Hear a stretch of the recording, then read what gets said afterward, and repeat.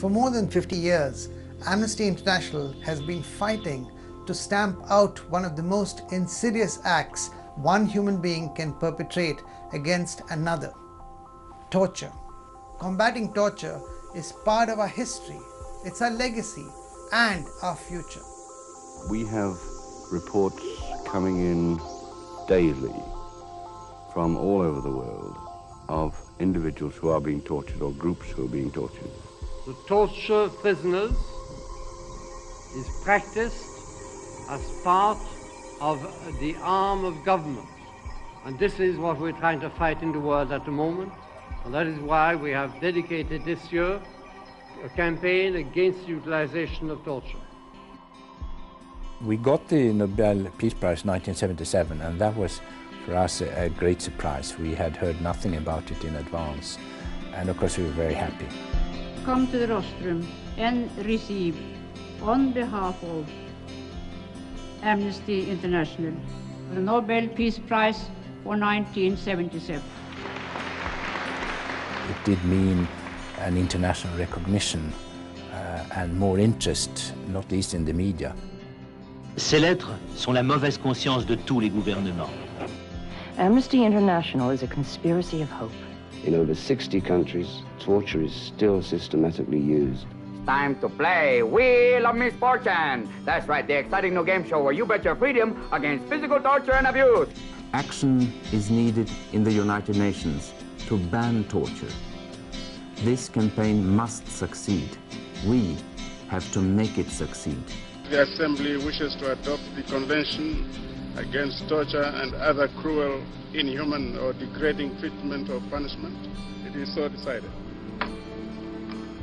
That, Mr. Chairman, would be the only complete solution to the problem. Amnesty had developed its own urgent action network. The UN themselves developed an urgent appeal facility, and so inevitably that was very dependent on receiving Amnesty's urgent appeals.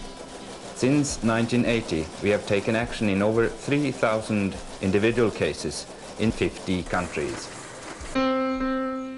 It's the 30th anniversary of Amnesty International. However, in spite of all the cases we have worked on since 1961, two out of three people are still ruled by governments that torture and kill their own citizens. Une noble cause. Sortir Kim Song-man de prison, sa seule infraction, délit d'opinion, torturé. Join Muhammad Ali and Amnesty International to ban the belt. Je lui ai dit sauvez-moi, tu es médecin, tu es noble, ne me laisse pas ici. Tue-moi et ne, ne, ne le laisse pas torturer. Con chi tortura o con Amnesty? When we're not listening, people are tortured, imprisoned, and killed for their beliefs. Activists in over 100 countries will stand up and take a step to stamp out torture.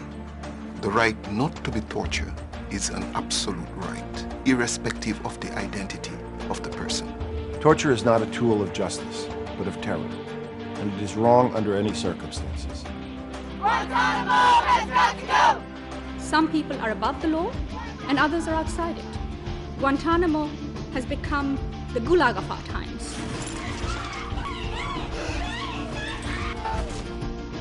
Our latest campaign in our long battle is a rallying call to everybody. Together, we can stop torture. And we can do it if we stand between the tortured and the torturer. Together, we will intervene whenever people are tortured. Together, we will hold torturers to account. Torture survivors will know that they're not forgotten and not alone. This is what we stand for as Amnesty International. Stand with us.